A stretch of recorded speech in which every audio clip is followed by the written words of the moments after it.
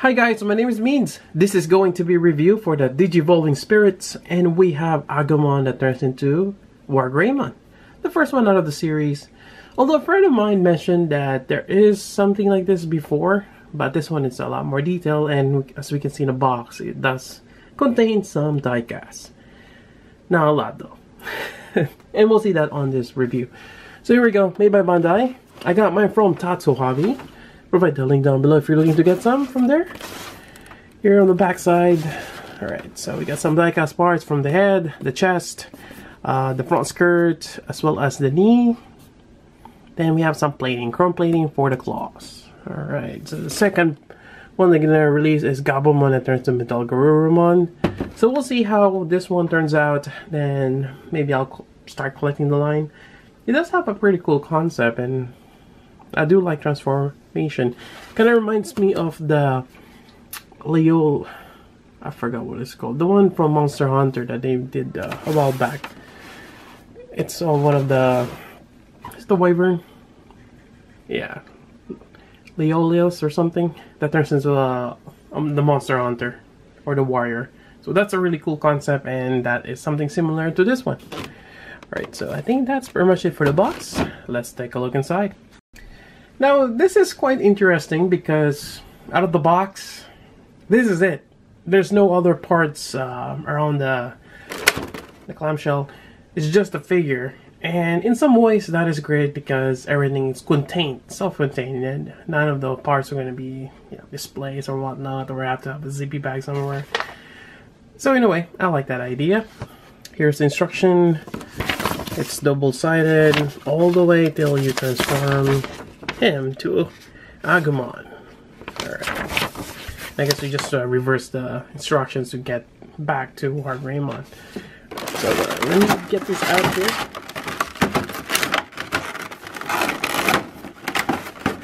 There we go.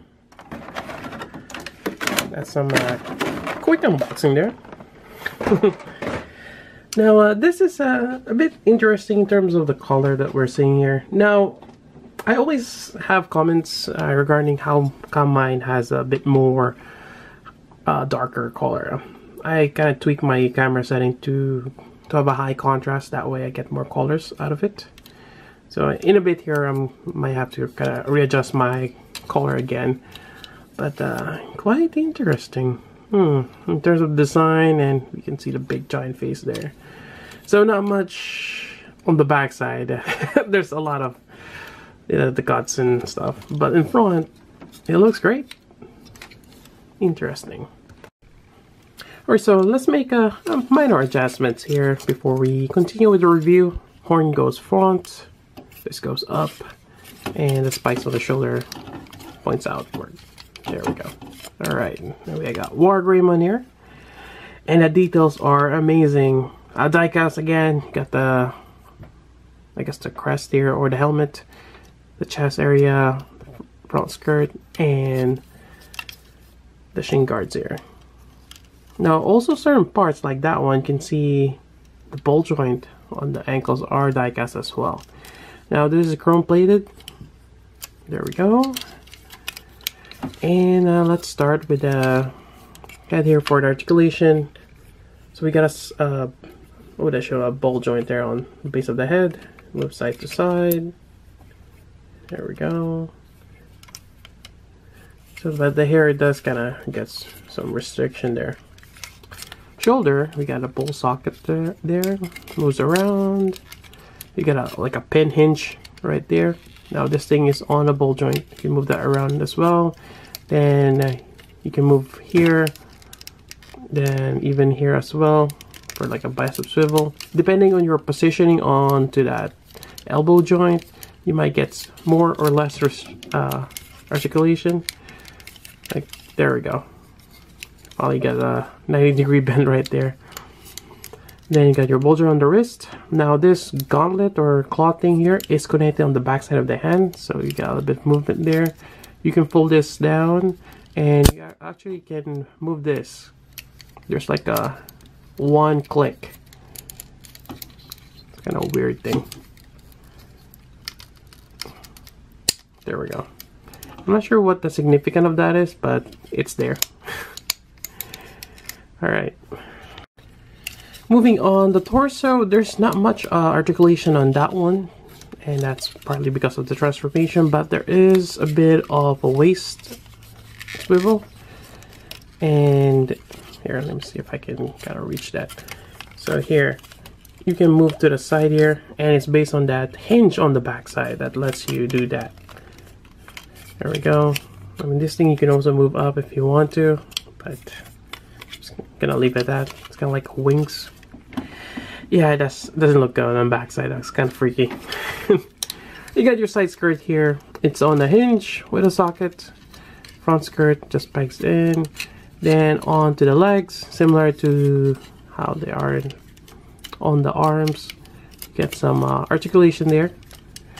They actually are on that uh, die-cast ball joint as well. So that might be a good thing. Swivel, knee bend, more swivels here. And uh, this one, the die-cast, is actually pegging on here. And ball jointed there. You can kind of see there's another joint inside and that's for Agumon later on. Then you got some an ankle articulation here. There we go. So, uh, it's articulated, but I mean, certain pose you're still kind of get uh, hindered down or, or, some sort. Alright, so let's just do this uh, right here. Alright, so next up, we're gonna go over transformation. Alright, so for transformation, just bear with me. I've only done it once, and let's see if I still remember. Alright, so first off, fold this back, fold this down, fold this backward here like what we did earlier on.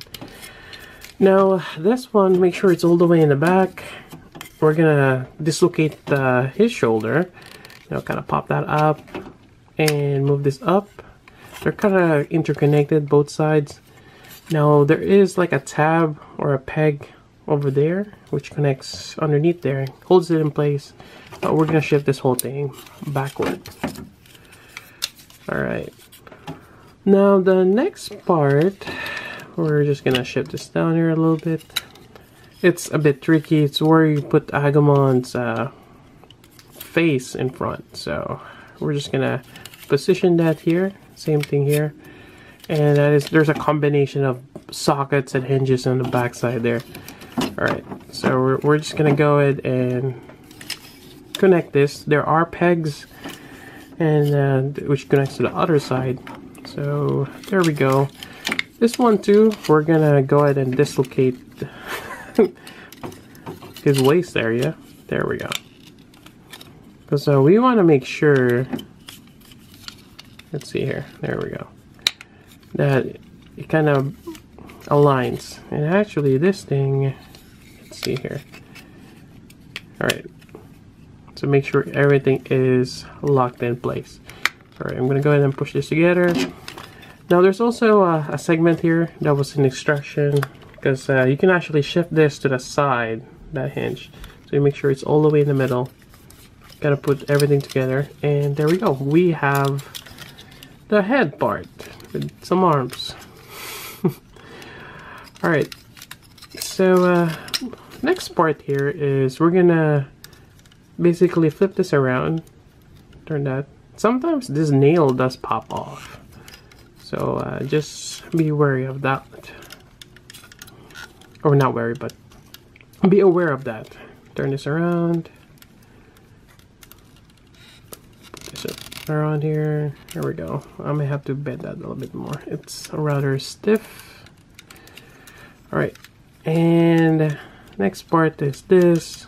We have to kind of remove this pegged on the bottom side. There we go. We're gonna fold this up as well as rotate this whole thing up here. Do the same thing on the other side. There we go. Rotate it. Alright, we're making some progress. Then we gotta rotate this whole thing around. There we go. And we're gonna go ahead and start, uh, you kind of see his chest there, moving this around. And let's see here. kind of hiding that section there and just covering it up now there are some peg holes here that matches on those pegs onto the side panel including on the bottom side so this is the part where you're just gonna you know, try to push everything together and also there's a gimmick here I forgot can push this down kind of close in the extra joint there we go just be careful yeah, be careful. You don't want to uh, have your arm, uh, the part slipped. Otherwise, you might break something. And as we continue here, alright, so just matching up those uh, tabs. Alright, so this is not right. There's something going on here. Alright. Gonna make sure that they're all somewhat aligned. There we go. So I think that kind of works out. Uh, let's see. What am I doing wrong here? Not connecting. Yeah, I, I'm trying to get this thing uh, lined up. So some of the hinges, whoops. That's what I'm afraid of. Sometimes the hinge is just stuck. Huh. Make sure everything is where it's supposed to. It's a tight fit. Alright, so uh, let me peg this in. There we go. And it's a, I'm trying to lock this in on here. It's not letting me. Sometimes you're supposed to go in a sequence. You cannot just jump. Well, you, you maybe you can, but... Alright. What is going on here? Alright, let me uh, do that off camera. Otherwise, this is just going to be too long. Alright, so I just have to kind of push it in. And make sure everything lines up. Is that a stress mark? Hopefully it's not. Alright, so uh, fold this up and I guess start shifting the hinge there.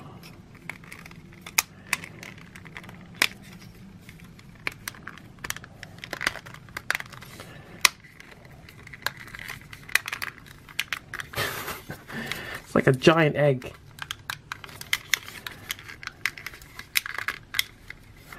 Alright, so uh, more or less I think we got it. Although this side here is not uh, connecting properly like this side here. Alright, I think that's good enough. Alright, uh, let's see. It's probably shift there. Then this one. We gotta realign the shoulder here. There we go. Alright.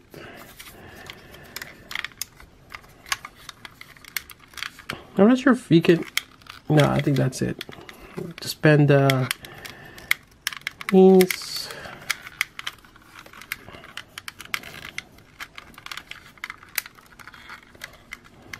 And we have Agumon. there we go. It's kind of cute. Oh, I forgot. This is where the part where you're gonna put that back. And maybe this time we're kind of there we go. Get that claw a little bit.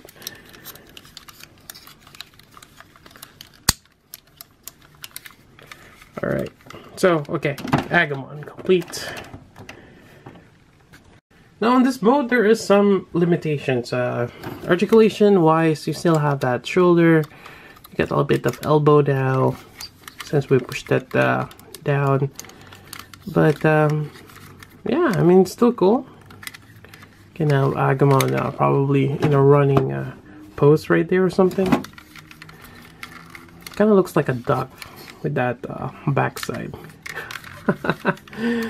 yeah, it, it's it's nice. I like it. Uh, if you want, you can just probably uh, you know leave the claw on, so you have like giant claws. I guess that kind of works too. Now it's kind of sad that we cannot open his mouth. Just, just no way with, with that uh, chest cable that we have. It'd be cool though. Kind of make use of that uh, section, but yeah, I think uh, that's pretty much it for Agumon. Overall, this is a, a nifty gimmick that they have for transformation. Do I like it? Yes, I do like it a lot. And, you know, I find it really cool that you can transform this, or vice versa. And articulation-wise, is not too bad. Even on this mode or the other mode. So it works for me. I like it. And uh, more than likely, I'll probably get the, the, the rest of them. But we'll see. Um, hopefully the transformation works out like what we had here. And could be improved still. You know, covering all that cable.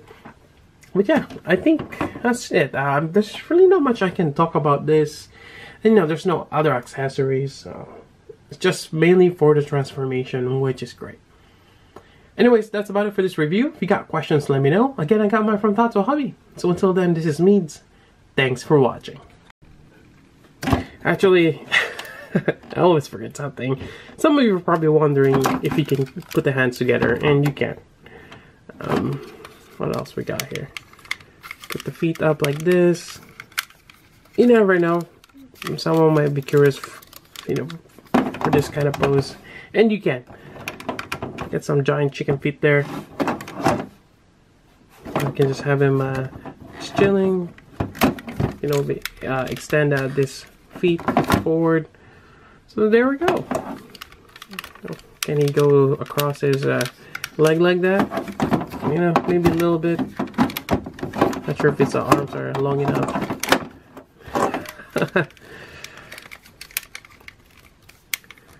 But yeah, there there is some limitations, obviously, but yeah, I think it kind of works out.